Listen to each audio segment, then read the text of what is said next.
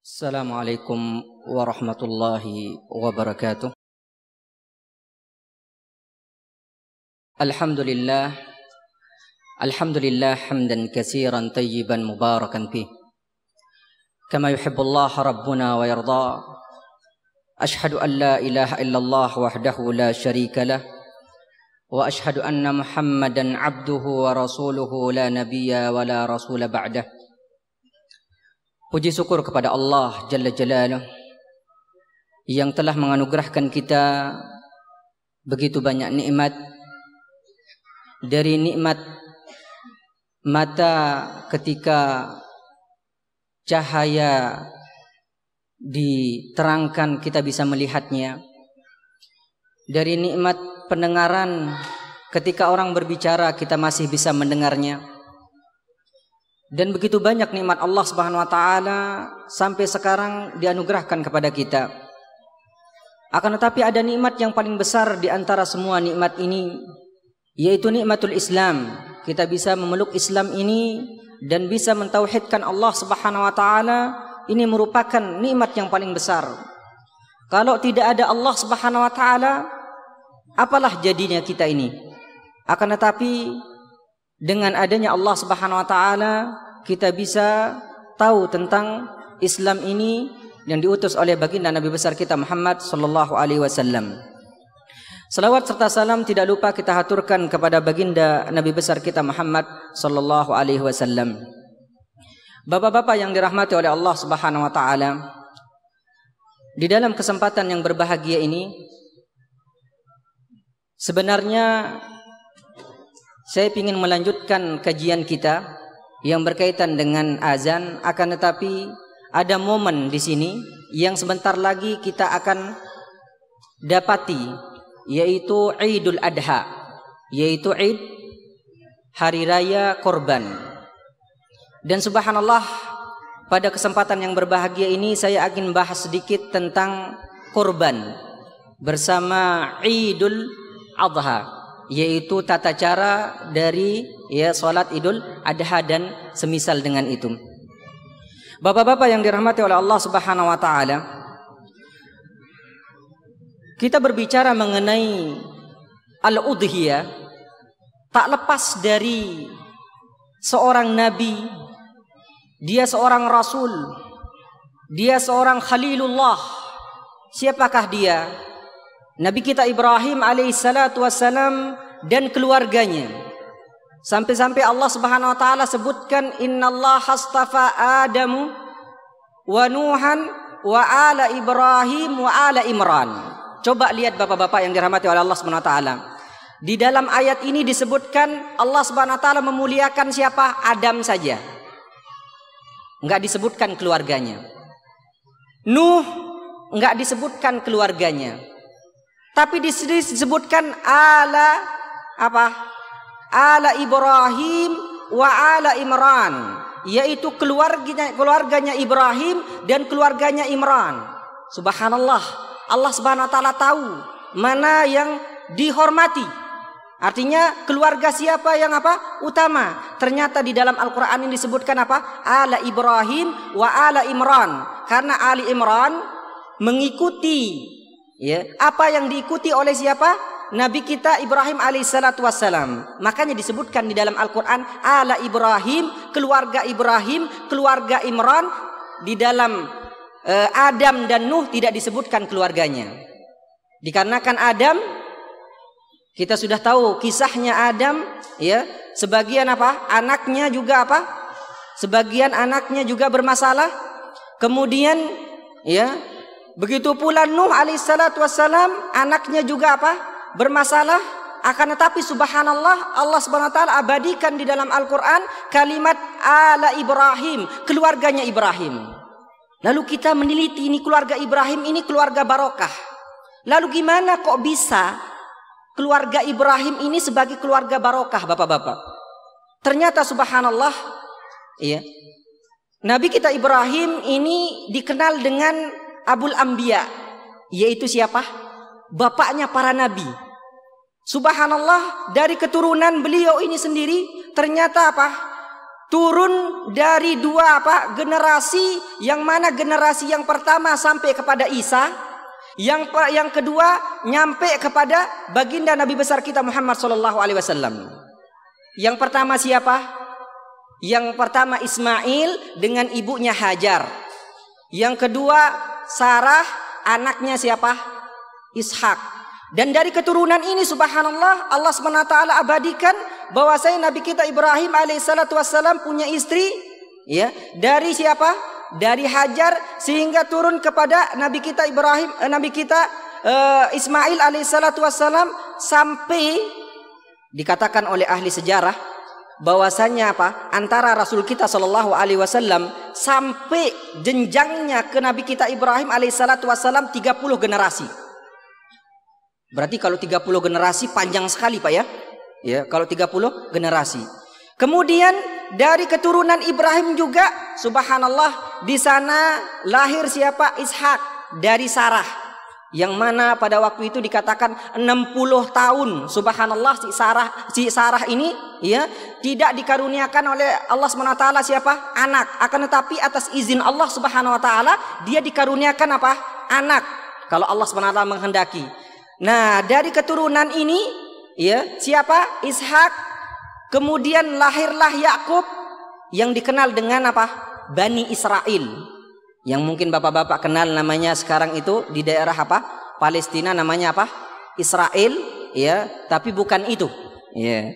Bani Israel kemudian sampai kepada Musa, sampai kepada Maryam, terakhir kepada Maryam, lahirlah kepada siapa? Isa alaihissalatu wassalam. Jadi subhanallah keturunannya Nabi kita Ibrahim alaihissalatu wassalam ini betul-betul dari keturunan apa? Dipilih oleh Allah subhanahu wa ta'ala. Makanya Allah ta'ala sebutkan tadi Allah hastafa Adam wa Nuhan apa? Wa ala Ibrahim. Sesungguhnya Allah ta'ala memuliakan siapa? Adam, Nuh dan keluarganya siapa? Ibrahim dan keluarganya siapa? Ali Imran kita lihat keluarganya Ali Ibrahim ini sendiri. Keluarganya Ibrahim sangat apa? Sangat ya luar biasa. Kemudian setelah itu subhanallah ya, kita akan membahas mengenai Idul Adha. Otomatis yang berkaitan dengan Idul Adha ini berkaitan dengan siapa? Nabi kita siapa? Nabi kita Ibrahim kemudian Ismail. Dan subhanallah Allah Subhanahu wa taala Kekalkan di dalam Al-Quran ketika Nabi kita Ibrahim alaihissalatu wassalam membawa anaknya ke padang. Ke lembah. Yang mana Allah subhanahu wa ta'ala katakan. Piwadin. Di lembah. Zuzar'in. Di sana tidak ada kehidupan sama sekali. Makanya sudah kita sebutkan sebelumnya. Kalimat Zuzar'in itu. Ya kalau kita katakan ma'indil fulus Artinya saya nggak punya duit, masih ada duit di kantong. Kalau kalimat zumalin, ya pak, zumalin ini berarti saya nggak punya apa? Duit sama sekali. Makanya kalimat zu di dalam Al-Quran ini disebutkan apa? Zuzarin, tidak ada tumbuh sama sekali. Ajibnya Al-Quran ini menjelaskan kalimat zu saja. Ya, zu saja itu punya makna yang begitu luas. Artinya apa? Nggak ada tumbuhan sama sekali pada waktu itu. Subhanallah. Ini yang dibawa siapa? Nabi kita apa? Ismail alaihissalatu wassalam dan siapa? Dan Hajar pada waktu itu. Dan dikisahkan juga, kita potong-potong kisahnya. Nabi kita Ibrahim alaihissalatu wassalam datang ke Mekah ya berapa e, kali sebagian para ulama mengatakan empat kali dan sebagian lain mengatakan tiga kali kemudian ketika datang Nabi kita Ibrahim alaihissalatu wassalam ya Sebelum dia diperintahkan untuk membangun apa? Membangun Ka'bah. Nabi kita Ibrahim alaihissalatu wassalam ya, disuruh untuk menyembelih siapa? Ismail alaihissalatu wassalam. Dan kalimat yang diterahkan di dalam Al-Quran ketika Nabi kita Ibrahim alaihissalatu wassalam mengatakan kepada Ismail, Ya bunayya, ini ra'a, wahai anakku, aku melihat apa? Ya, aku mimpi, aku menyembelih apa? Menyembelih kamu. Kalimat bunaya. Ini kalimat yang sangat indah Bapak-bapak. Makanya apa? Kalimat bunaya ini panggilan kasih sayang kepada siapa? Anak. Makanya bapak-bapak kalau punya anak itu panggil dengan panggilan kasih sayang. Ya. Jangan sampai panggilan yang tidak disukai oleh anak itu sendiri. Kemudian dijawab oleh siapa? Nabi kita Ismail alaihissalam wassalam. Apa yang dijawab oleh Nabi kita Ismail? Ya abati. Kalimat apa? Kalimat kasih sayang juga. Makanya kalau bapak-bapak punya anak, ya, ntar disuruh panggil abati.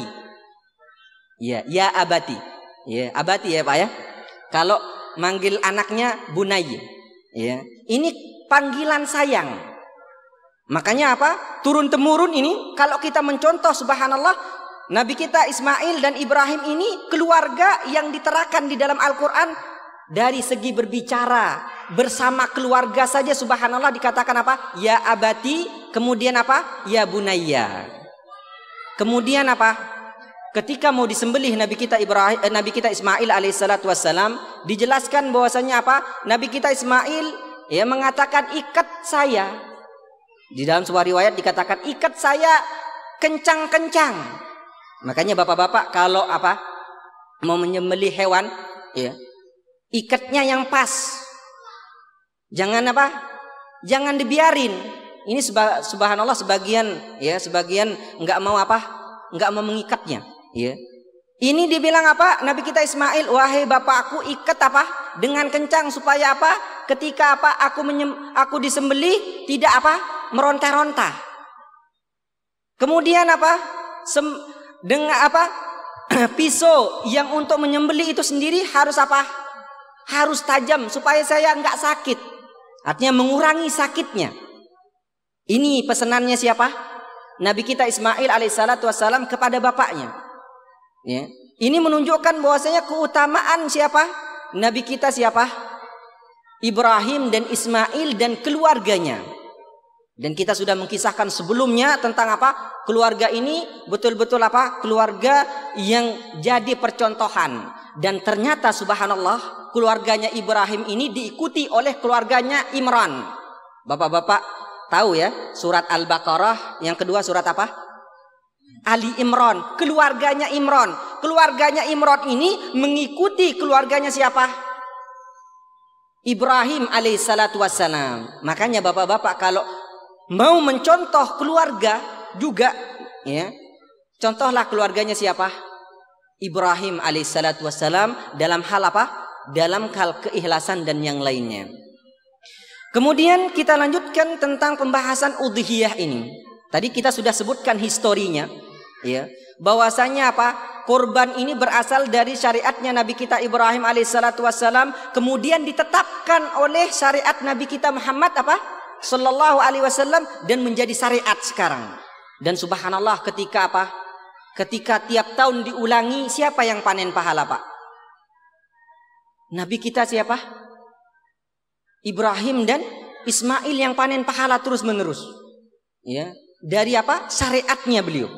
Ya, yang ditetapkan oleh Rasul kita Shallallahu Alaihi Wasallam dari titahnya Allah Subhanahu Wa Taala. Kemudian kita berbicara mengenai korban ini, bahasa Arabnya namanya udhiyah. Jadi perlu kita ketahui udhiyah ini, Pak. Ya, kita harus mengetahui secara etimologi, yaitu secara bahasa dulu, kemudian masalah secara istilah. Kenapa Bapak-bapak? Kata Syekh Al-Utsaimin rahimahullah taala beliau mengatakan kalau kita mau mengetahui sesuatu, kita harus mengetahui apa? Ist, e, secara bahasa dulu dan secara istilah. Secara bahasanya apa? Ternyata secara bahasa artinya apa? al-ghanamu bizabhi inda zawali au ba'dahu. Menurut bahasa artinya udhiyah itu adalah apa? Kambing yang disembelih inda zawal. Bapak-bapak mungkin ingat pada pelajaran kita yang dulu yang waktu zawal. Apa itu zawal, Pak? Apa? Matahari? Apa? Iya, tergelincir. Iya di atas ya indah zawal jadi menurut bahasa bahwasanya apa kambing yang disembelih pada waktu itu ini menurut bahasa Adapun menurut istilah ya, para ulama mengatakan ma yasbahu min bahimatil an'am, yaitu apa saja yang disembelih dari jenis bahimatul an'am. Apa itu bahimatul an'am? Binatang ternak. Apa saja binatang ternak? Ternyata disebutkan oleh Rasul kita Shallallahu Alaihi Wasallam binatang ternak itu dibatasi. Yang pertama, ya disebutkan apa? Al ibil. Apa itu al ibil? Onta. Belajar bahasa Arab dikit-dikit pak. Ya. Al ibil itu onta.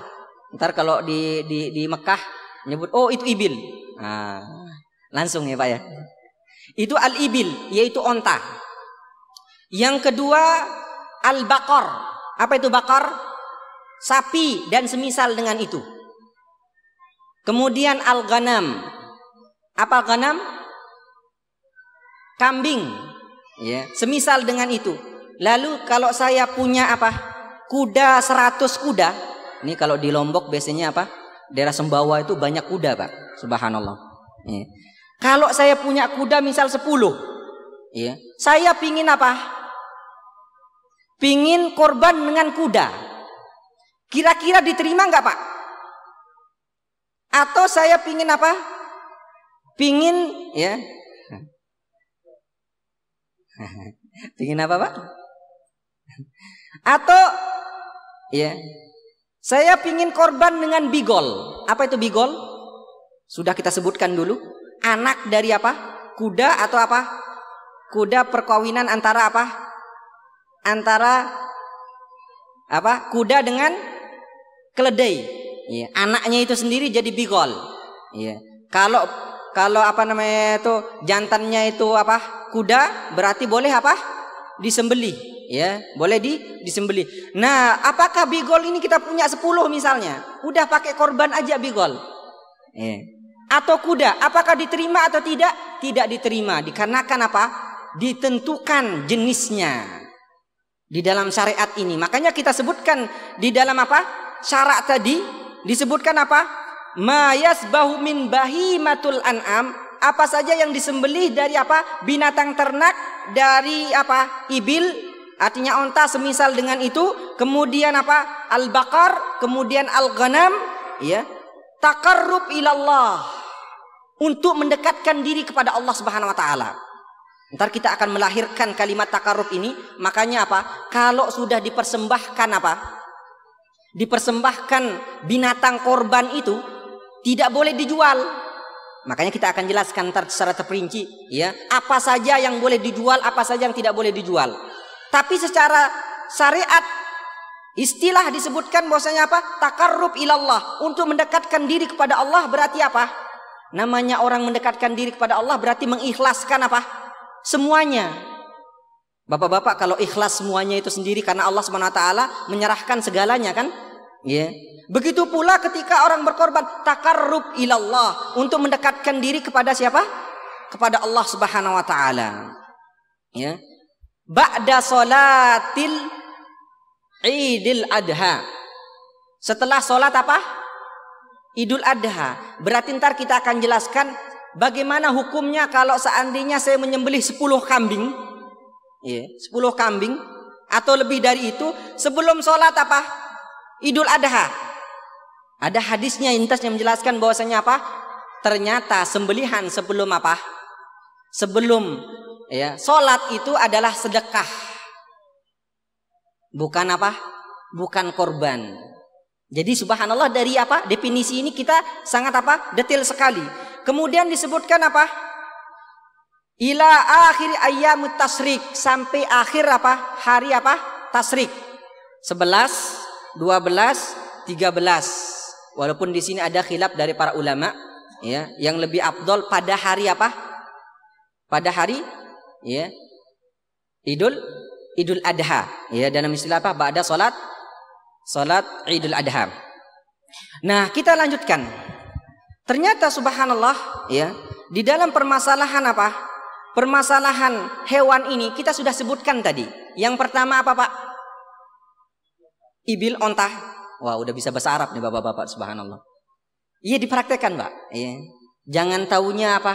Bahasa Arab itu kalau ditanya sama orang, ah lah bagus Taunya la tapi nggak tahu.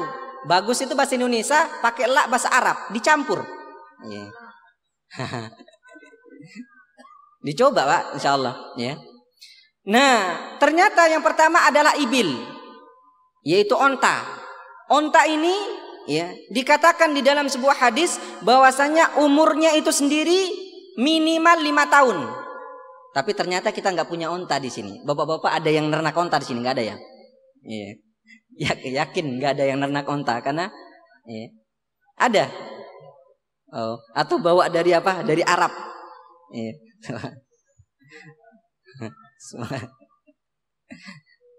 Tapi memang subhanallah onta di sini seperti kita ngelihat di mana? Di kebun binatang yang di Cisarua ke sana itu. Iya. Itu ontanya kurus-kurus. Mungkin nggak sesuai dengan apa? Nggak sesuai dengan ya tempatnya ya. Jadi yang pertama tadi onta. Yang kedua al-bakar, yaitu apa? Apa nih Bapak? Al-bakar apa? Sapi. Wah, berarti sudah dua mufradat yang bisanya. Tadi ya tadi ya onta, ibil, yang kedua bakar. Iya, nggak apa-apa pak. Ini ntar belinya, oh saya mau beli bakor satu. Nah itu tam. Ini minimal apa? Kata para ulama umurnya dua tahun. Iya, minimal. Jadi ntar yang tukang beli ini, tukang beli apa? Beli sapi, dia harus tahu umurnya. Kalau mungkin apa? Kalau mungkin onta, ah biarin onta. Karena kenapa? Nggak ada onta di sini. Ya. Kalau apa? Kalau sapi, berarti apa? Dia sudah tahu minimal apa? umur dua, dua tahun. Kemudian ya, al-ghanam yaitu apa? Kambing. Kambing minimal satu tahun. Ya, minimal satu tahun. Berarti kalau bapak-bapak kurang dari satu tahun, berarti apa? Ya, tidak mencukupi. Ya, harus mencukupi minimal apa? Satu satu tahun. Kemudian ad apa itu ad Domba. Domba minimal enam bulan. Karena domba ini belum pernah lihat domba, Pak.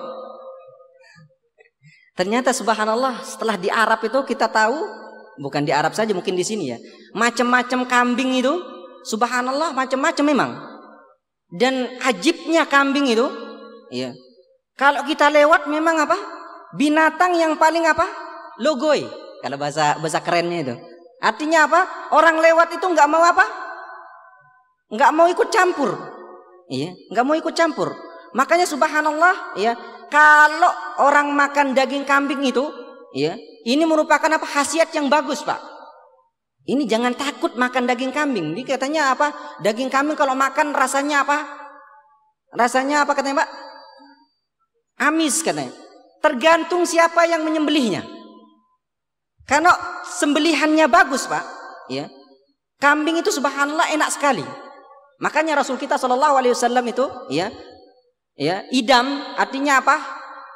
Ya, lauk yang paling suka Rasul kita Shallallahu Alaihi Wasallam apa? Termasuk apa? Yaitu paha kambing. Ini Rasul kita Shallallahu Alaihi Wasallam, paha kambing. Nah kalau di sini mungkin paha kambing berapa orang pak? Dua orang, tiga orang. Kalau di Arab itu satu orang. Saya pernah dikasih sekali, subhanallah ini cerita lagi nih, ya. Pernah dikasih sekali apa? Satu paha itu. Saya kaget nih. Ini untuk siapa? Untuk kamu sendiri. Saya bilang ini saya makan sendiri ini tiga hari saya bilang. Dia yang ketawa bukan kita yang ketawa, subhanallah. Untuk tiga hari katanya. Ternyata ternyata memang apa? Beda ya dengan dengan kita. Makanya kambing ini keutamaannya apa? Begitu begitu besar ya. Makanya kadang-kadang apa? Ya, kata ahli hikmah mereka mengatakan bahwasanya orang itu kadang-kadang ditransfer siap apa saja yang dimakan oleh dia. Karakternya itu. Kalau orang sering makan ular, biasanya apa? Ini ahli hikmah mengatakan kayak gini ya. Iya. Biasanya apa? Biasanya buas kayak gitu. Tapi kalau sering makan kambing, orangnya apa? Nah, tapi jangan lihat apa?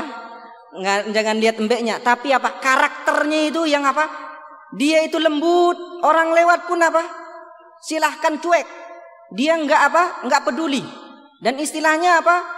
Ya, nggak mau ikut campur urusan orang. Ya. Dan subhanallah memang faedah kambing ini banyak sekali, ya. Sampai-sampai kalau dia apa? Kalau di roa, apa itu roa, Pak? Kalau di gembala, kambing itu paling nurut. Pernah ya di di apa namanya daerah Son'a itu, Pak. Ada seorang wanita yang dia gembala kambing. Ternyata subhanallah ya, dia itu ya bawa kambing paling depannya itu yang paling apa? Paling besar, kemudian dia jalan di depan. Kambingnya sekitar apa? Ratusan kambing ikut semua. Ini bisa nggak bapak-bapak di sini nih? Satu kambing depan, yang lain ikut. Ya. Ini ajibnya kadang-kadang subhanallah. Tapi memang karena memang keahliannya mereka seperti itu, kita kita lain keahliannya. Kita kembalikan kepada pembahasan. Jadi al-ghanam itu minimal apa? Satu satu tahun. Kemudian kita membicarakan tadi bahimatul an'am. Apa itu bahimatul an'am tadi? Eh, apa?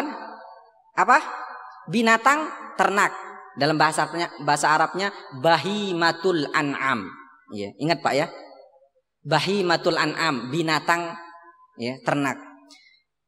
Nah, binatang ternak ini ternyata ada yang apa? Tidak dibolehkan untuk apa? Untuk dijadikan korban. Karena kenapa? Mungkin ada bermasalah. Sebagaimana dijelaskan di dalam apa? Riwayat-riwayat bahwasanya ada empat permasalahan Iya, ada empat permasalahan kalau terjadi cacat. Ini perlu diperhatikan, Pak.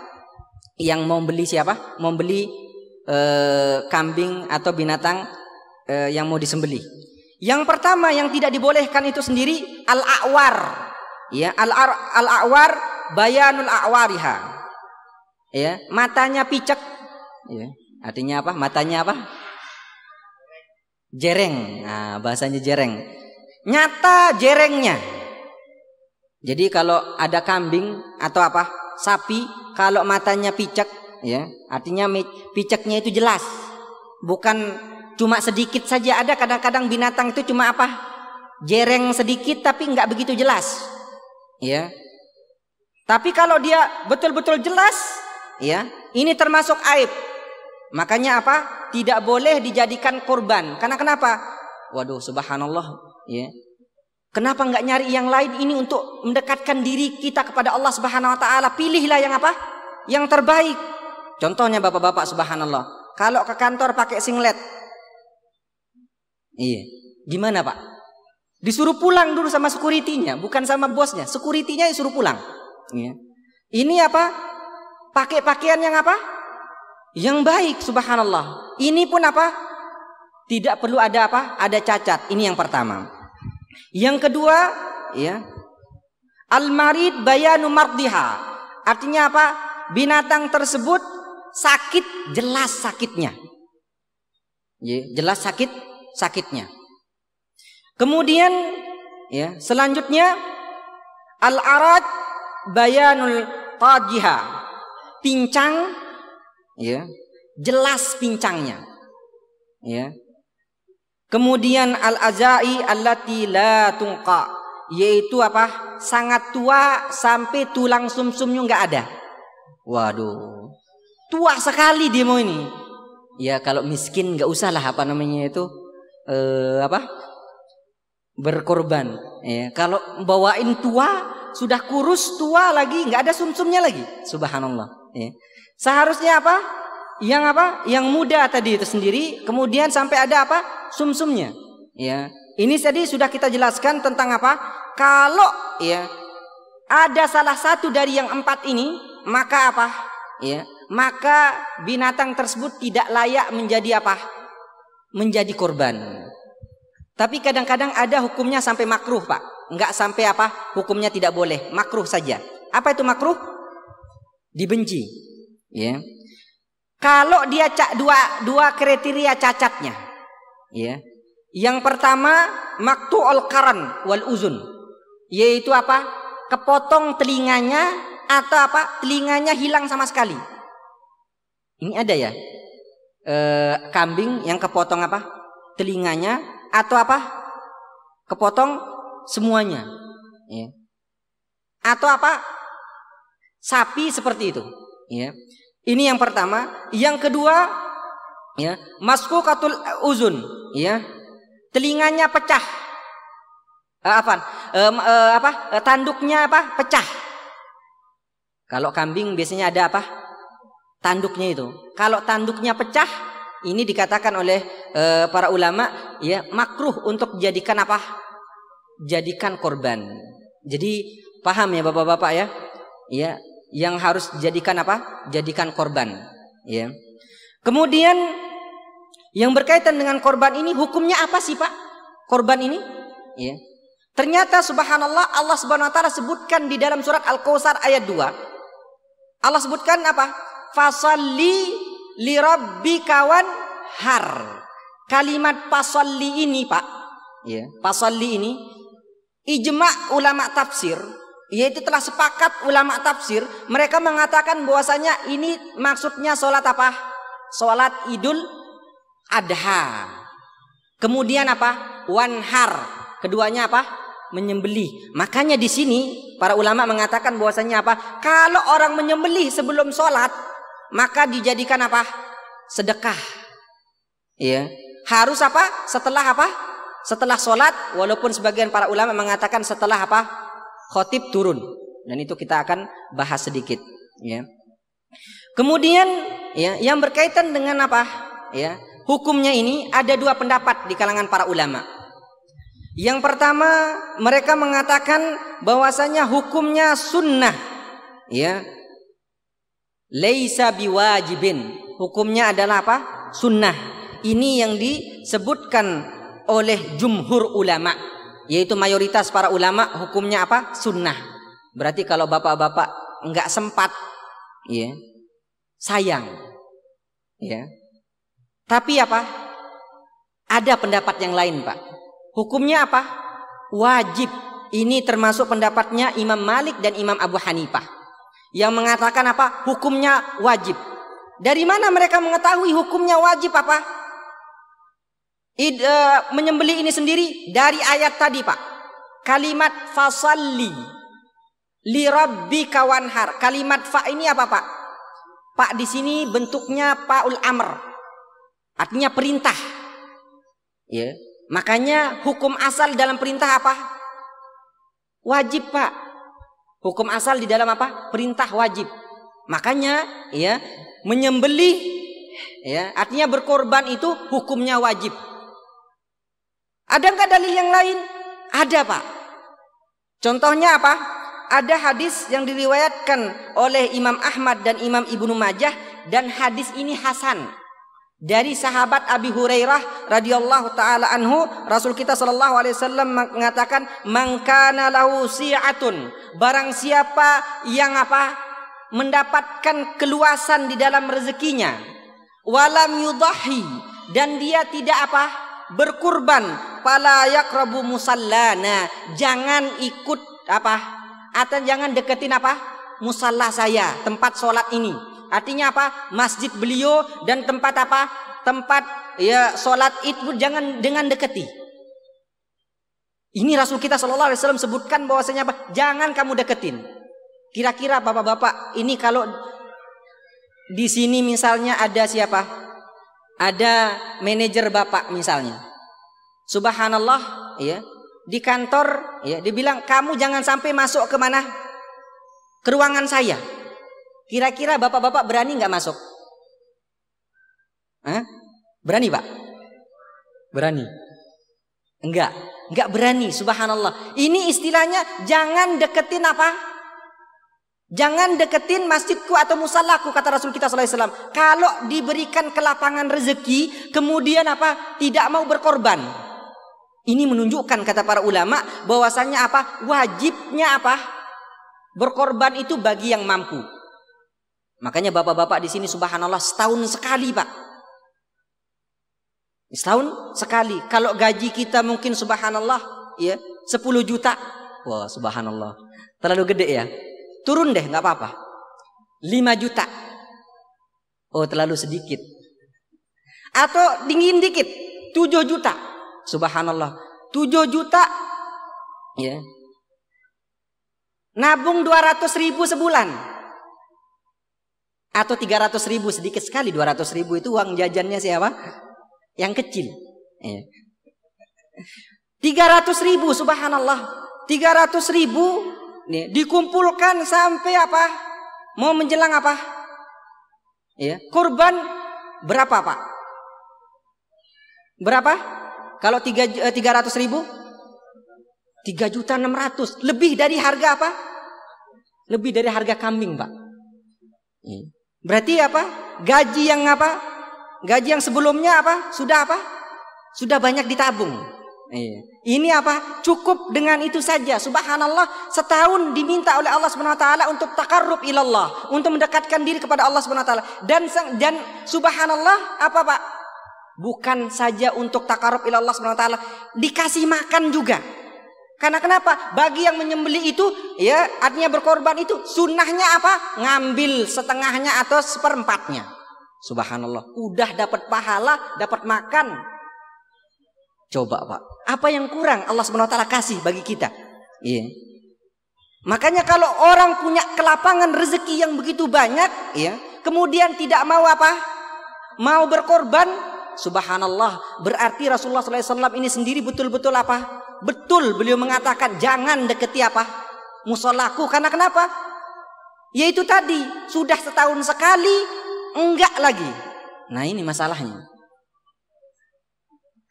Tapi subhanallah ini penyemangat Pak, subhanallah. Karena kenapa? Umur kita sudah kita katakan a'mari ummati baina sittin wa sab'in. Masa kita umur 60 tahun yang Allah kasih? Selama 60 tahun itu sendiri nggak pernah kita berkorban walau sekali. Ya. Kalau kita ngomong harta Pak subhanallah, ya. Anak itu yang akan dapetin ntar. Tapi apa? yang ketika kita masih hidup ini subhanallah ya cobalah ya lapangkan apa rezeki waduh harus mulai dari sekarang ini berarti jangan dari sekarang ya jangan ngumpul dari sekarang maksudnya ya. artinya apa coba dari sekarang untuk apa membeli apa membeli minimal sekarang ini kambing minimal pak berarti kalau sapi tahun depan gede sekali berarti ya. Tapi subhanallah kalau sapi harganya berapa Pak? 18 apa? Sampai 20. Berarti kalau 20 dia bisa nabung sejuta sebulan. Sejuta sebulan ya. Bisa kurang. Oh kurang. Berarti 2 juta. Berarti mundur sebagian ini. Berarti cocoknya apa? Kambing. Memang pilihan yang tepat. Tapi Rasulullah SAW itu sendiri memilih kambing, Pak. Ya, memilih apa? Kambing. Dan subhanallah apa? Ya, ini kedudukan yang begitu besar, ya, kambing itu sendiri. Kemudian, ya, yang berudhiyah itu, ya, yang menyembelih itu sendiri mempunyai syarat-syaratnya, Pak. Ini ada nggak yang menyembelih ntar nih? Ada. Iya, baik. Ada syarat-syaratnya. Yang pertama disebutkan oleh para ulama, ya, syaratnya ya dia harus muslim ya atau ahlul kitab. Karena ahlul kitab sampai sekarang masih ada ya dari Yahudi dan Nasrani ya. Dengan catatan dia menyembelih menyebutkan nama apa? Nama Allah Subhanahu wa taala. Ya. Kemudian kita sudah sebutkan yang kedua harus menyebutkan apa? Bismillah ya. Kemudian yang ketiga orangnya berakal baik laki-laki maupun wanita. Nah, kadang ada laki-laki itu yang takut darah. Di sini bapak-bapak insya Allah saya yakin gentleman semua. Artinya apa? Enggak ada yang takut sama darah. Ada itu yang takut sama darah baru ngelihat darah langsung kabur. Ya. Boleh laki-laki dan boleh apa? Wanita menyembelih. Berarti kalau di rumah itu sendiri subhanallah kalau bapak-bapak nggak berani nyembelih berarti istri bapak yang menyembelih. Berani tapi istrinya ya. Atau bapaknya yang paling berani. Insya Allah bapaknya yang paling berani. Nah ini yang berkaitan dengan apa? Yang berkaitan dengan syarat orang yang menyembelih. Ya. Kemudian ya kita sudah jelaskan tadi mengenai hukumnya, ya. Dalil yang kedua yang dipakai oleh para ulama tadi itu ada dalil apa? Hadis dari Abi Hurairah. Kemudian dalil yang ketiga yang dipakai oleh para ulama bahwasanya hadis dari Jundub bin Abdullah ya. Beliau mengatakan syahadtu Rasulullah sallallahu alaihi wasallam, aku pernah menyaksikan Rasulullah sallallahu alaihi wasallam yazbahu. Artinya apa? Menyembelih ya. Artinya menyembelih, artinya Rasul kita sallallahu alaihi wasallam pada waktu itu saya pernah menyaksikan katanya bahwasanya apa? Ada yang menyembelih, bukan Rasulullah, ada yang menyembelih sebelum apa?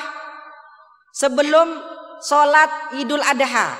Kemudian Rasulullah SAW mengatakan bahwasanya apa? Sembelih setelah itu. Artinya sembelih yang lainnya. Kata para ulama, ketika Rasulullah SAW menyuruh orang ini menyembelih lagi, ya, artinya apa? Ini adalah perintah. Nah, perintah ini menunjukkan kewajibannya. Makanya wajib untuk apa? Wajib ya berkorban bagi apa? Yang mampu. Makanya tadi sudah disebutkan tadi bahwasanya menyembelih itu harus apa? Setelah apa? Setelah sholat atau setelah uh, khutbah. Kemudian dalil yang selanjutnya satu lagi pak dalilnya. Ya, biar pas dalilnya supaya apa? Bapak-bapak terapa termotivasi untuk apa? Mau berkorban. Ya. Satu lagi, dalilnya dari hadis Muhnib bin Salam. Ya, Muhnib bin Salam ini hadisnya marfu. Nih, hadis marfu itu apa, Pak? Hadis itu ada namanya hadis mauquf, uh, hadis marfu, mauquf, mausul, maktu. Ini belajar ilmu hadis lagi dikit-dikit, Pak. Kalau marfu itu sampai kepada siapa? Rasulullah Shallallahu Alaihi Wasallam. Kalau mauquf itu sampai kepada siapa? Sahabat Rasul kita Shallallahu Alaihi Wasallam. Ya. Kemudian setelahnya setelahnya. Tapi hadis ini marfu. Sebagian para ulama mengatakan marfu dan sebagian lagi mengatakan hadisnya apa lemah. Tapi apa? Tapi dijadikan apa hujah. Di dalam hadis ini disebutkan bahwasanya apa? Kata Muhnib bin Salam, aku pernah mendengar pada hari ya, Yomul Wada. Artinya apa? Pada hari perpisahan. Artinya perpisahan apa? Dengan Rasulullah Sallallahu Alaihi Wasallam di Haji Wada.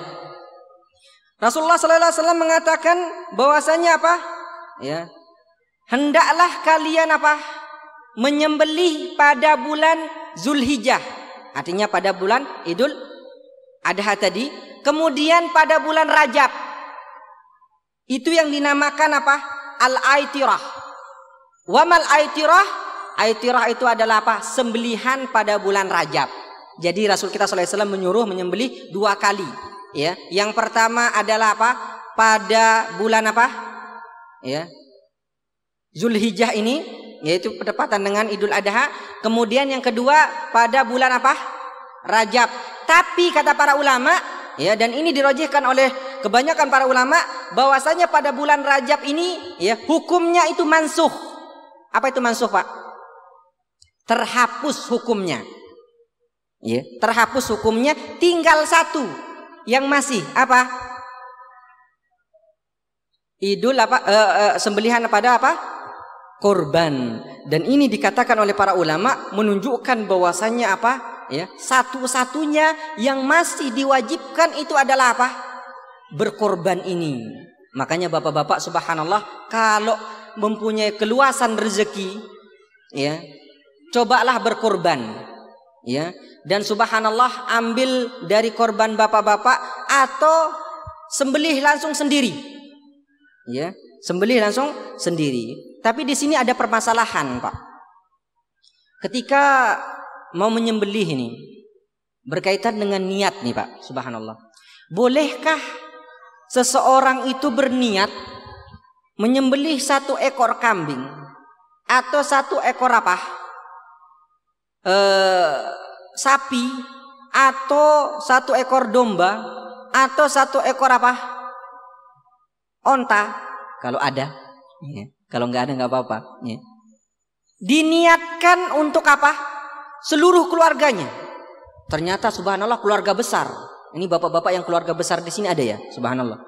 Ya, berarti keluarga besarnya dari dari kita aja udah 10 tanggung kalau 10, 20. Iya. Iya, tanggung kalau punya anak 10. Kalau bisa. Iya. Tapi subhanallah bapak-bapak saya yakin anaknya minimal 5. Saya yakin di sini rata-rata. Oh, Ternyata kurang dua, tambah lagi. Tapi kalau udah tua gimana? Nah ini bapak-bapak. Bukan nyuruh ya. Tapi ngerti sendirilah pak. Ya, tapi nggak boleh. Iya pak ya. Tayyip. Nggak usah diperpanjang tuh pak. Sampai mana jadinya tadi? Apa? Bolehkah seseorang itu apa? Memotong satu kambing untuk apa? Untuk seluruh keluarganya. Artinya apa? Diniatkan pahalanya untuk seluruh keluarganya. Di sini ada riwayat. Hadis ini dikatakan sahih oleh para ulama, ya.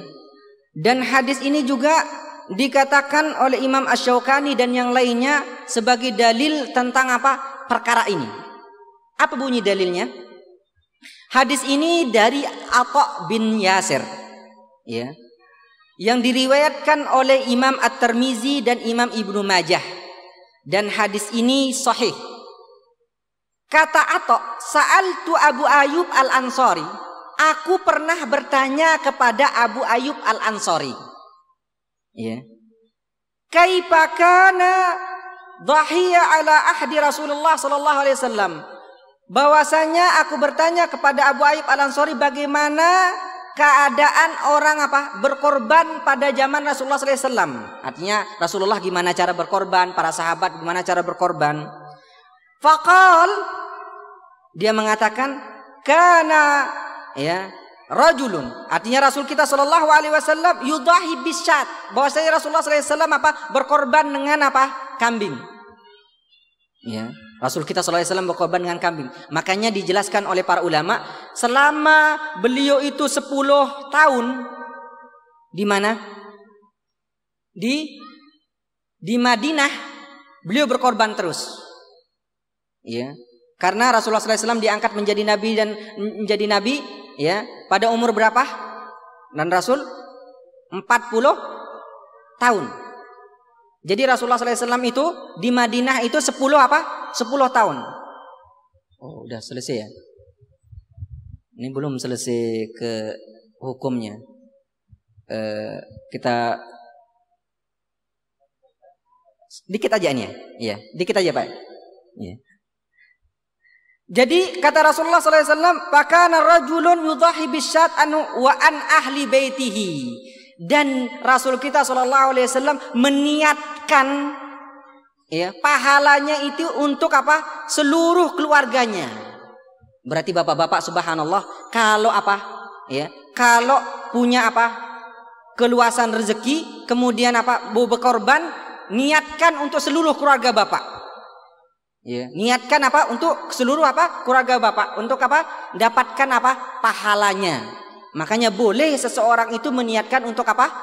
Meniatkan pahalanya untuk seluruh keluarganya. Dan insya Allah kita uh, sambung sedikit pembahasan ini pada pertemuan selanjutnya. Tapi udah selesai ya minggu depan ya uh, Idul Adha belum? Belum. Uh, masih ada sedikit tentang masalah uh, Idain ini insya Allah ya pada pertemuan selanjutnya sekaligus uh, tanya jawab pada pertemuan selanjutnya. Kita tutup pembahasan kita dengan surah kafaratul majlis. Subhanakallahumma wa bihamdika asyhadu an la ilaha illa anta astaghfiruka wa atubu ilaik. Assalamualaikum warahmatullahi wabarakatuh.